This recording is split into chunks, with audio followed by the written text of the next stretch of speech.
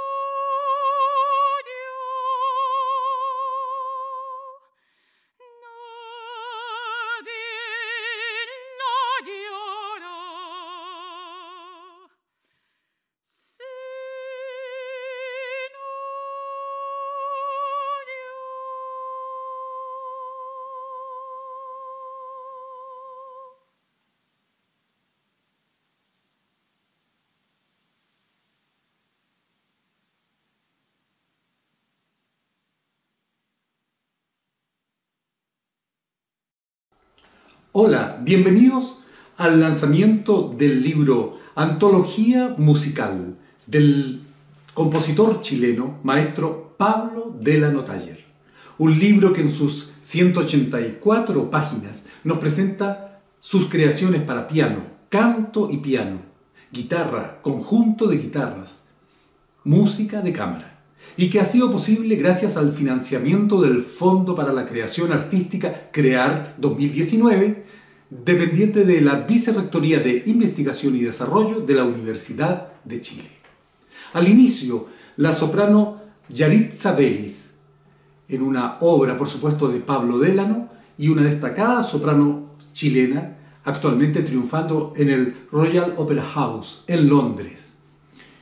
Y la producción de nuestro destacado compositor Pablo Délano, con 50 años de trayectoria, comienza por la década de los años 60. Desde allí partimos con una de sus obras, Estudio número 1 para guitarra.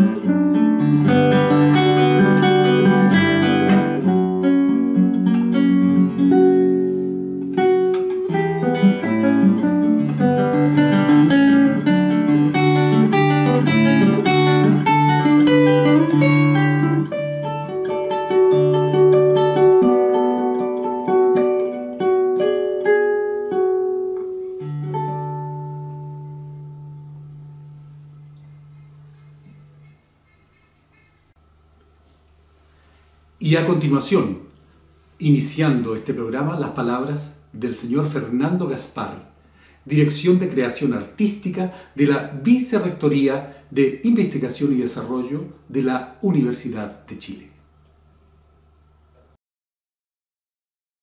Hola, soy Fernando Gaspar, director de creación artística de la Vicerrectoría de Investigación de la Universidad de Chile y tengo el privilegio de presentar y al mismo tiempo de saludar el apoyo que hemos dado al profesor Pablo Délano, compositor de nuestro departamento de música de la Facultad de Artes de la Universidad de Chile, quien en, un trabajo que presentó al Fondo de Creación Artística eh, ha hecho una recopilación y una antología musical de sus composiciones eh, una tarea que siempre es muy importante para nuestra universidad, recuperar eh, toda la producción artística que hacen nuestras compositoras y compositores.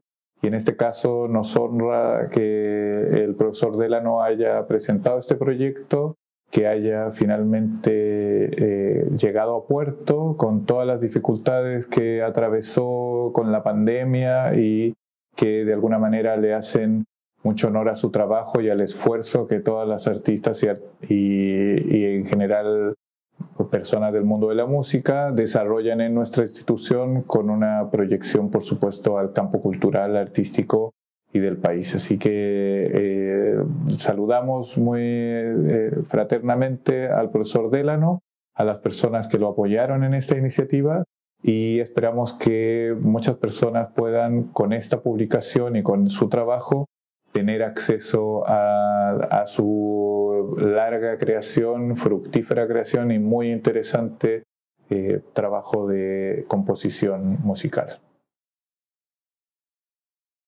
Muchas gracias, don Fernando Gaspar, director de creación artística de la Vicerrectoría de Investigación y Desarrollo de la Universidad de Chile. Y corresponde ahora la obra Pentatónico para cuatro guitarras, y que interpretaremos Jorge Rojas Segers, quien fue nuestro maestro en la Facultad de Artes de la Universidad de Chile, Guillermo Ibarra, Luis Soto y quien les habla, Juan Mouras. Pero esta obra tiene una presentación previa relacionada con la historia. Hace 30 años atrás, nuestro cuarteto de guitarras, que éramos alumnos de Jorge Rojas Segers, tocamos esta obra en la Casa de la Cultura del Parque Metropolitano. A este concierto asistió Pablo Delano, ahí a la izquierda, Jorge Rojas Egers, Pedro Núñez Navarrete, destacado compositor chileno, Roberto Escobar, también miembro de este grupo de compositores que compartía la música, la creatividad, la conversación. Así que es una obra que hemos interpretado y que volvimos a interpretar, como decía, 30 años después, hace poco en Pancul, cerca de Valdivia, en un concierto que hicimos. Así que aquí está la grabación de Pentatónico de Pablo Delano.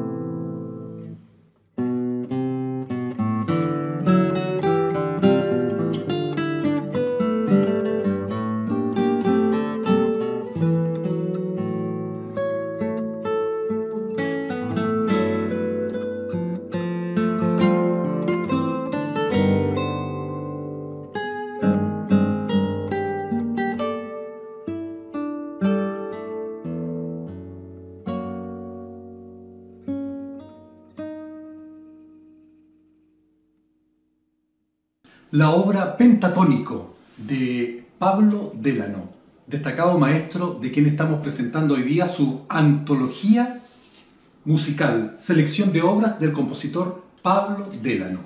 Y esta foto lo muestra después del concierto que hicimos en Pancul, cerca de Valdivia, el año pasado, donde tocamos justamente este cuarteto pentatónico junto a su esposa, la maestra Silvia Sandoval, quien también ha sido un pilar fundamental en su carrera. Le ha dedicado obras corales que ella ha dirigido junto a numerosos otros compositores y junto al coro Arcis 21, una hermosa labor.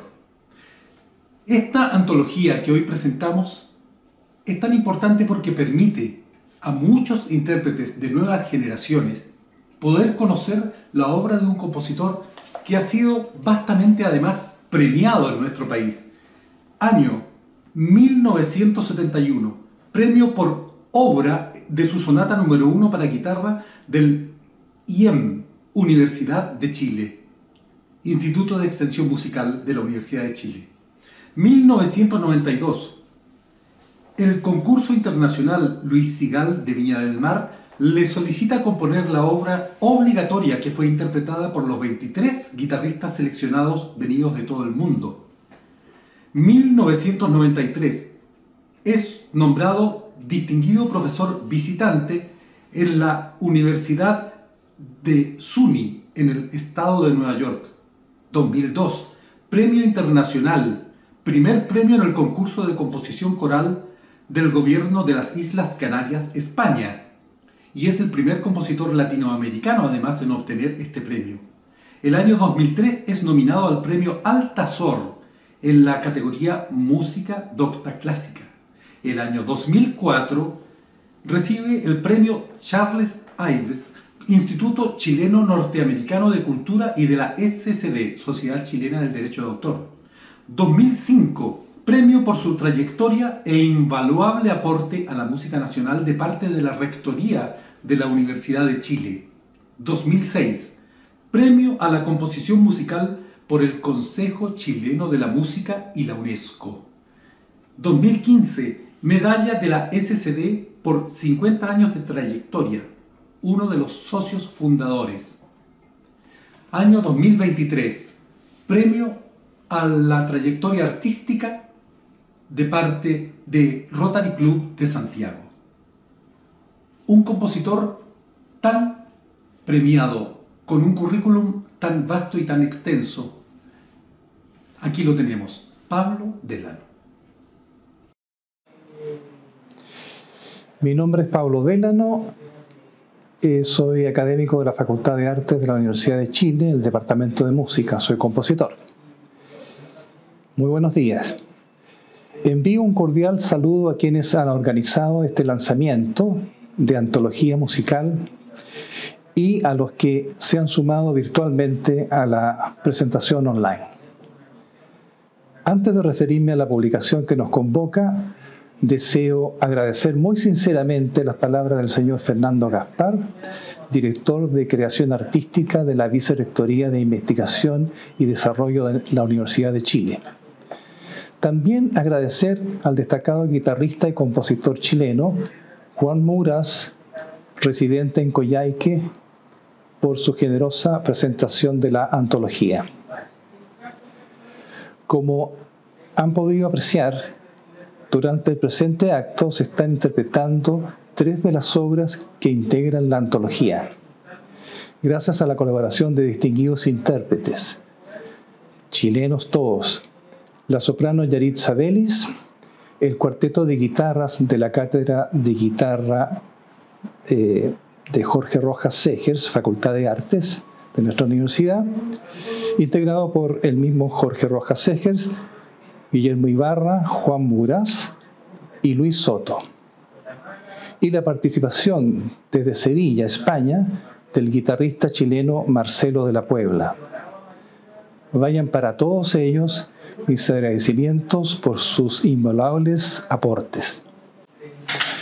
Antología musical reúne una selección de 13 obras en partituras impresas, acompañadas cada una de un comentario que informa su estreno, intérpretes y publicaciones existentes en formatos analógicos y digitales como son YouTube y SoundCloud. Estas composiciones fueron creadas entre los años 1969 a 2015. Ciclos de canciones para voz y piano, obras para guitarra sola y obras para conjuntos de cámara es lo que integra esta antología. Representan aproximadamente la décima parte del catálogo de obras que he creado hasta el presente. Esta publicación tiene por objeto atender las demandas tanto de intérpretes profesionales como de jóvenes estudiantes en formación. Quisiera concluir mis agradecimientos nuevamente a Juan Muras por poner a nuestra disposición su canal de YouTube y tomar el rol de conductor del lanzamiento. A Carlos Carrasco coordinador de comunicaciones de la Dirección de Creación Artística de la Vicerrectoría de Investigación y Desarrollo, por hacer posible la transmisión conjunta de este lanzamiento incorporando a los canales virtuales de la Universidad de Chile, posibilitando de esta manera el acercamiento del Chile patagónico con el Chile central, para llegar finalmente a toda persona que desee ver este acto editorial desde un mundo interconectado. Doy las gracias a la Dirección de Creación Artística por haber otorgado financiamiento por medio del concurso CREART 2019, factor decisivo para la materialización de este proyecto de publicación. También agradezco el trabajo de los expertos en escritura musical digital, a la señora Ingrid Santelices y al joven compositor Bastián Jorquera, al señor Nilson Carballo por su trabajo de diseño, a la Dirección Económica de la Facultad de Artes por su efectivo apoyo administrativo y a Gráfica Technology Limitada que realizó la impresión de antología musical. Finalmente, de manera muy especial, doy las gracias por el incondicional aliento familiar a mi tarea de concretar esta antología, más allá de lo afectivo, lo cual se puede apreciar en la edición misma del libro. Muchas gracias. Muchas gracias, don Pablo, por sus palabras. Ahora la presencia de la guitarra desde España, Marcelo de la Puebla, quien fue un alumno de la Facultad de Artes de la Universidad de Chile y que prosiguió sus estudios de guitarra en el Conservatorio de París, en Francia, Aquí lo tenemos, también sumándose a este verdadero homenaje para don Pablo Delano y su publicación Antología Musical. Hola, soy Marcelo de la Puebla, guitarrista chileno radicado en Sevilla, España. Desde acá quiero enviarle mi más afectuoso saludo al maestro Pablo Delano y también para doña Silvia Sandoval voy a tener el gusto de interpretar el sexto movimiento de sus resonancias de Rapanui.